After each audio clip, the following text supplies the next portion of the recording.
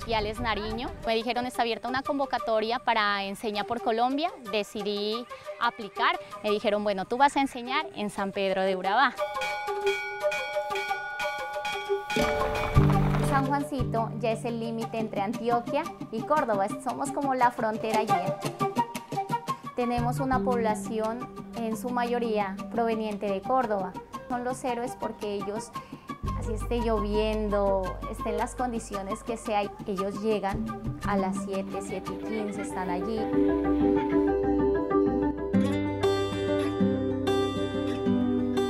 Las TICs ya no es, no es moda, es necesidad.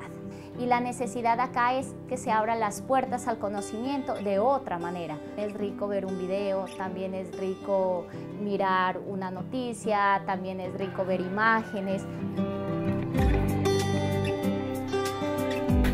Kiosco Vive Digital eh, cumple con unas herramientas que nos prestan servicio a nosotros como docentes para nosotros prestarle ese servicio a nuestros chicos.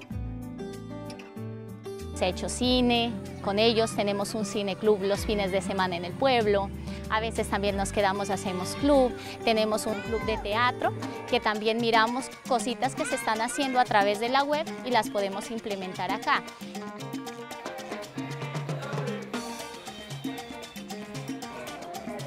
Sazonation. Sazona bien.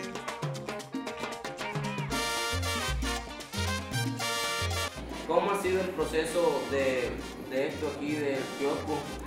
¿Cómo te ha tratado la gente con respecto a esto que tú estás haciendo aquí?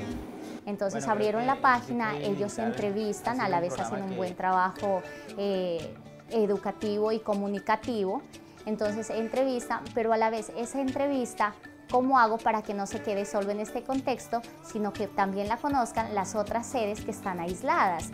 Pues nosotros hemos hecho eso, la comunicación por medio de videos. O sea, hacemos nosotros, por ejemplo, le enviamos una pregunta a la rectora, ella nos envía la respuesta por medio de un video también. Con ella hemos aprendido muchas cosas, como cómo eh, trabajar bien en, en este sitio como estamos. No estamos bien, pero ya nos busca mecanismos para estar mejor. ¿Alguien está contando lo que está pasando o ellos mismos? Estamos apuntándole a un cambio hacia lograr la paz, hacia cambiar la mentalidad y dejar un lado este Urabá con toda esa historia que tiene, olvidando eso ocurrido, ¿qué podemos hacer? Bueno, esto nos quedó y sigamos y construyamos y lleguemos a la paz siendo unos buenos ciudadanos. Y unos ciudadanos buenos pueden ser cuando pasan por, este, por estos colegios. Y por los colegios que sean vamos a construir ciudadanos. Construyamos colegios. Construyamos colegios que es la herramienta necesaria para hacer paz y un cambio radical en nuestros ciudadanos.